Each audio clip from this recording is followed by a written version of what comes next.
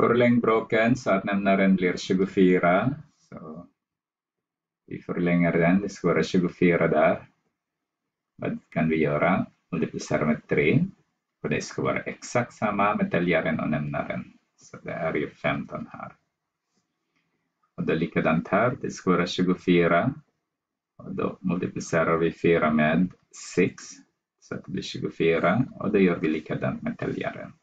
Och det är 18 där då vad är det 24 här. Och då multiplicerar vi 2 med 12 så att det blir 24. Och det är samma sak vi ska göra täljaren. Och här är skåret 24. Då multiplicerar vi 12 med 2. Och det måste vara den här 22.